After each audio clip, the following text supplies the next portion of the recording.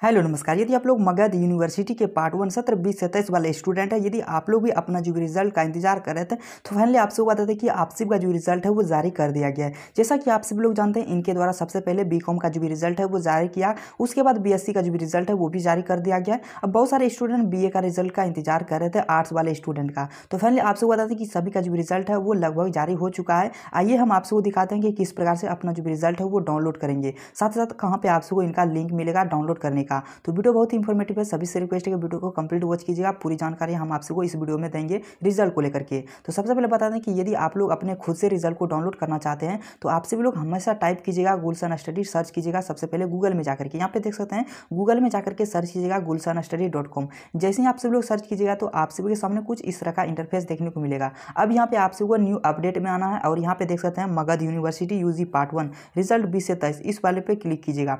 हुआ जारी। इस पर जैसे क्लिक कीजिएगा तो आप सभी के सामने पूरी डिटेल में देखने को मिल जाएगी मिल जाएगी कि आप सभी लोग अपना जो मगध यूनिवर्सिटी का जो रिज़ल्ट है वो किस प्रकार से डाउनलोड कर सकते हैं और साथ ही साथ किसका किसका रिज़ल्ट जारी किया गया है और यहाँ पे देख सकते हैं कि आप सभी का जो भी रिज़ल्ट डाउनलोड करने का क्या प्रोसेस है।